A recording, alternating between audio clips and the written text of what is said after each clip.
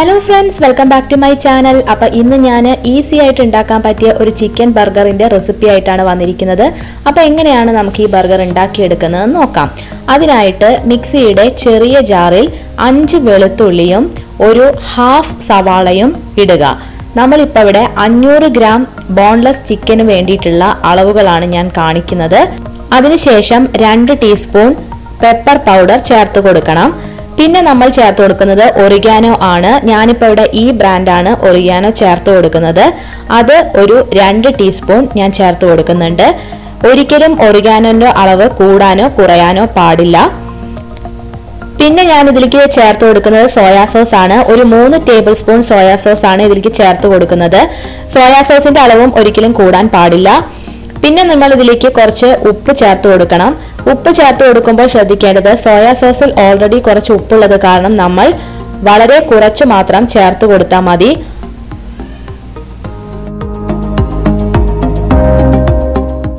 അതിനുശേഷം നമ്മൾ ഇതിലേക്ക് എല്ലില്ലാത്ത ചിക്കൻ അഞ്ഞൂറ് ഗ്രാം ആണ് ചേർത്ത് കൊടുക്കുന്നത്. ഞാനിപ്പോൾ ഇവിടെ മിക്സിയുടെ ചെറിയ ജാറിലേക്കാണ് ഇട്ട് കൊടുക്കുന്നത്. നിങ്ങൾക്ക് മീഡിയം വലിപ്പത്തിലുള്ള ജാറിലേക്ക് ഇട്ട് കൊടുക്കണമെങ്കിൽ അങ്ങനെയും ചെയ്യാം. ഇനി ഇത് നമുക്ക് ഒന്ന് അരച്ചു കൊണ്ടുവരാം. ഒരിക്കലും പേസ്റ്റ് ആക്കിയിട്ട് അരയ്ക്കരുത്.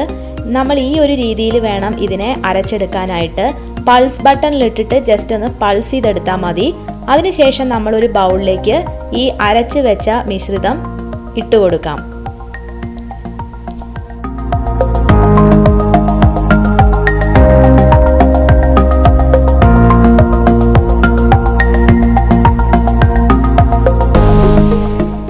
നമ്മൾ ഇതിലേക്ക് കുറച്ച് ബ്രെഡ് ക്രംസ് ചേർത്ത് കൊടുക്കണം. ഞാനിപ്പോൾ ഇവിടെ ഈ ബ്രാൻഡാണ് ചേർത്ത് കൊടുക്കുന്നത്.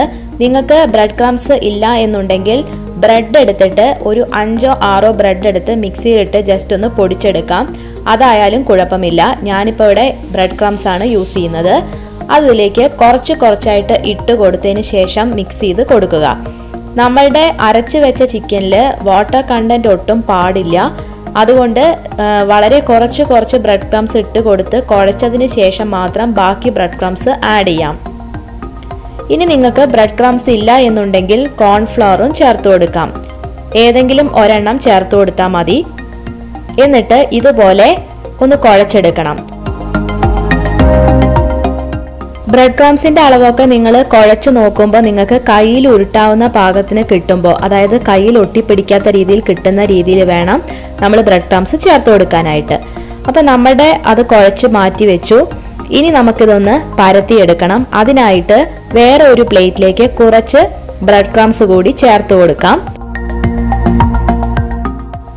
അതിനുശേഷം നമ്മൾ കുറച്ച് ഓയിൽ എടുത്തിട്ട് കയ്യിലൊന്ന് തടവി കൊടുക്കണം. ഇനി നമ്മൾ കയ്യിൽ വെച്ചിട്ടാണ് ഉരുട്ടിയെടുക്കാൻ പോകുന്നത്.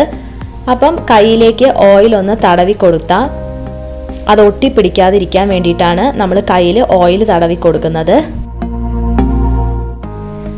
ഇനി നമ്മൾ നേരത്തെ അരച്ചു വെച്ച മിക്സിൽ നിന്ന് ഓരോരോ ഉരുളകളാക്കിയെടുത്ത് കൈവെള്ളയിൽ വെച്ച് പരത്തിയെടുക്കാവുന്നതാണ്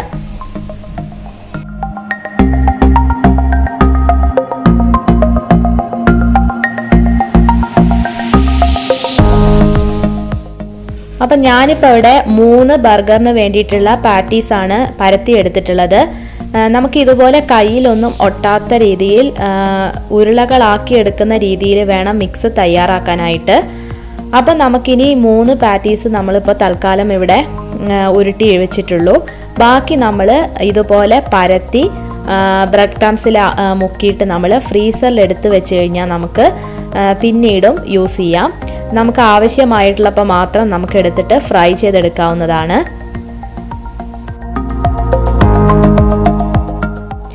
അപ്പം ഞാനിപ്പോൾ ഇവിടെ മൂന്ന് പാറ്റീസ് റെഡിയാക്കിയിട്ടുണ്ട് ഫ്രൈ ചെയ്യാനായിട്ട്. ബാക്കി ഞാൻ ഫ്രീസറിലേക്ക് എടുത്ത് വെക്കാൻ പോവാണ്. അപ്പം ഇപ്പം ഞാനിവിടെ രണ്ട് ചെറുതും ഒരു വലിയ പാറ്റിയാണ് റെഡിയാക്കിയിട്ടുള്ളത്. ഇനി നമുക്കിത് പാൻ വെച്ചിട്ട് ഒരു സൺഫ്ലവർ ഓയിൽ ഒഴിച്ചു കൊടുത്ത് നമുക്കിത് ഫ്രൈ ചെയ്തെടുക്കാം. ഡീപ് ഫ്രൈ ചെയ്യുന്നവരുണ്ട്. ഞാനിപ്പോൾ ഇവിടെ നോർമൽ ഫ്രൈ ആണ് ചെയ്യുന്നത്. അപ്പം എണ്ണ ഒന്ന് ചൂടായി വന്നതിന് ശേഷം നമ്മൾ എടുത്തു വെച്ചിരിക്കുന്ന പാറ്റീസ് അതിലേക്ക് ഇട്ട് കൊടുക്കാം. അതിനുശേഷം ലോ ഫ്ലെയിമിൽ വെച്ചിട്ട് വേണം നമ്മൾ ഇത് ഫ്രൈ ചെയ്തെടുക്കാനായിട്ട്. ബ്രെഡ് ക്രംസ് ചേർത്ത് കൊടുത്ത കാരണം പെട്ടെന്ന് അടി പിരിക്കാൻ ചാൻസ് ഉള്ളതുകൊണ്ടാണ് ലോ ഫ്ലെയിമിൽ വെച്ചിട്ട് ഫ്രൈ ചെയ്തെടുക്കണമെന്ന് പറയുന്നത്.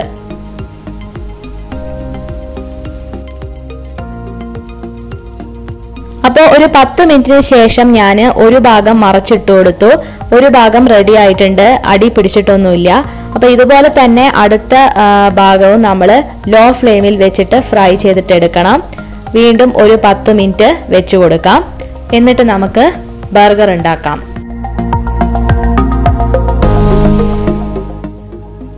അപ്പം നമ്മുടെ പാറ്റീസ് ഇവിടെ റെഡി ആയിട്ടുണ്ട്. രണ്ട് ഭാഗവും നന്നായിട്ട് മൊരിഞ്ഞ് ഫ്രൈ ആയി വന്നിട്ടുണ്ട്. നമുക്കിനിത് ബണ്ണിൽ വെച്ചിട്ട് എങ്ങനെയാണ് ഇത് ഫില്ല് ചെയ്തെടുക്കുന്നതെന്ന് നോക്കാം. അതിനായിട്ട് നമ്മൾ ബണ്ണെടുത്തിട്ട് ഒരു ദോശ പാനിലോ അല്ലെങ്കിൽ ഒരു വേറെ ഫ്രൈങ് പാനിലോ വെച്ചിട്ട് നിങ്ങൾ ഉൾഭാഗം ഒന്ന് ചൂടാക്കി എടുക്കണം ചൂടായി വന്നതിന് ശേഷമാണ് നമ്മളിത് ഉള്ളിലേക്ക് ഫില്ലിംഗ് എല്ലാം വെച്ച് കൊടുക്കാൻ പോകുന്നത്. അപ്പോൾ നമുക്കത് ചൂടാക്കി കൊണ്ടുവരാം. അപ്പം നമ്മളിവിടെ ബണ്ണ് ഇവിടെ ചൂടാക്കി കൊണ്ടുവന്ന് വെച്ചിട്ടുണ്ട്. ഇനി നമ്മൾ അതിന്റെ ഉള്ളിൽ വെക്കാനുള്ള സാധനങ്ങൾ ഇവിടെ അരിഞ്ഞു വെച്ചിട്ടുണ്ട്. പാറ്റീസും പിന്നെ ലെറ്റ്യൂസ് പിന്നെ സവാള തക്കാളി കുക്കുംബർ. അപ്പം ഇത്രയും സാധനങ്ങളാണ് നമ്മൾ ഫില്ല് ചെയ്യുന്നത്. അപ്പോൾ നമുക്ക് എങ്ങനെയാണ് ഇത് ഫില്ല് ചെയ്യുന്നതെന്ന് നോക്കാം. അതിനായിട്ട് നമ്മൾ ചൂടാക്കി വെച്ച ബണ്ണിന്റെ ഉൾഭാഗത്തേക്കായിട്ട് കുറച്ച് മയനൈസ് ചേർത്ത് കൊടുക്കണം.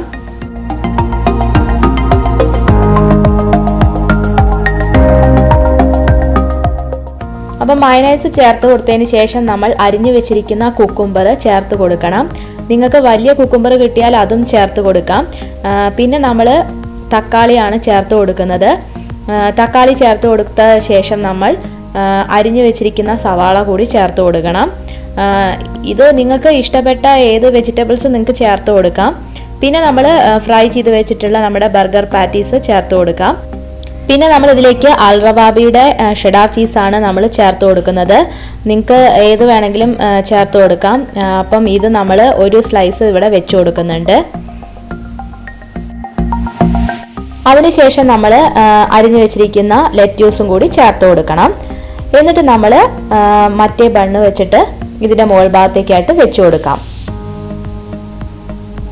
അപ്പം നമ്മളിപ്പോൾ ഇവിടെ ഒരു ബർഗർ റെഡിയാക്കിയിട്ടുണ്ട് ഇനി ഇതുപോലെ ബാക്കി രണ്ട് ബർഗറും കൂടി ഞാൻ റെഡിയാക്കിയിട്ട് നമുക്ക് എങ്ങനെ ഉണ്ടെന്ന് നോക്കാം. അപ്പം ഞാനിപ്പോൾ ഇവിടെ രണ്ട് ബർഗറും റെഡിയാക്കി വെച്ചിട്ടുണ്ട്. അപ്പോൾ കണ്ടല്ലോ എത്ര എളുപ്പമായിട്ടാണ് നമ്മളിത് ഉണ്ടാക്കിയെടുത്തെന്നുള്ളത് അപ്പോൾ നിങ്ങളെല്ലാവരും ഇത് ഉണ്ടാക്കി നോക്കണം. നല്ല ടേസ്റ്റാണ് എന്നിട്ട് ഫീഡ്ബാക്ക് എല്ലാവരും അറിയിക്കുക.